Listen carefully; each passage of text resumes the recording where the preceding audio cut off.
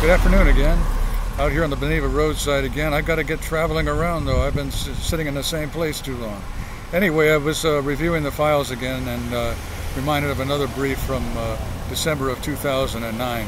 What had happened was I was out on the roadside and, and an old woman uh, from Europe somewhere, I, I wasn't sure of the accent, rode past in a car mimicking climbing motion and what it looked to me was that she was alleging that sometimes people, Americans, uh, are in a way targeted on cruise ships uh, by some kind of a, a retaliation against the uh, scaling of cliffs, cliffs in Normandy during D-Day, World War II saying that, uh, alleging that on cruise ships they've got uh, climbing walls for uh, exercise, but that sometimes people are, she didn't say exactly or anything, but the indication was that sometimes people were in a way kind of like punished uh, about uh, being uh, participants with the Allies in the uh, D-Day invasion.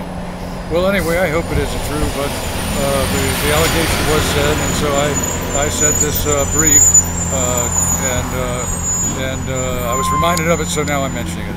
Anyway, I'm one. I'm another person who agrees that the cruise ships are really fantastic looking places, and I've seen some floor plans and and hopefully, uh, hopefully everyone just always travels safely instead.